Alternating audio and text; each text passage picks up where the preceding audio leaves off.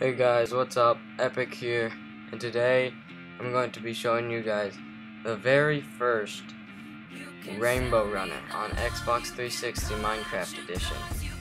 Wait, Minecraft Xbox 360 Edition. Sorry about that.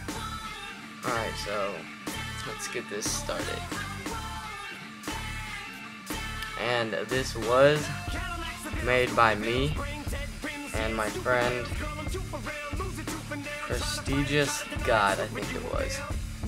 Uh, correct me if I'm wrong in the comments. Prestigious, if you're watching this. Actually, it's right there on that sign. Yeah, look at this. Epic. Boom. Yep. Okay. And I was right, it was Prestigious God. Okay. Let's get on to the game. Now this took me a long time. And I'm very proud to present it to you guys because I'm the very first person to make this on the Xbox 360 edition, of course. So, so pretty much what you do is you flip the switch and the minigame starts up.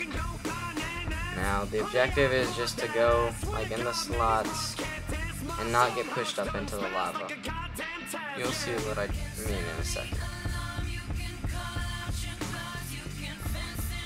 And so, excuse me if I fail, um, like that. I seem to be failing a lot today, so, yeah. Well, what you try to do is go in the slots and dodge all the things coming at you. And if you don't, that will happen. And of course I have God Mode armor on. There is a chest with God Mode armor to the right. And yeah, hope you enjoyed the video. Make sure to rate, comment, and subscribe. And if I get over 50 likes on this uh, video, I will make a tutorial. So, yeah, 50 likes, that's what I'm going for. Alright, thanks for watching. I'm Epic, and I'm out.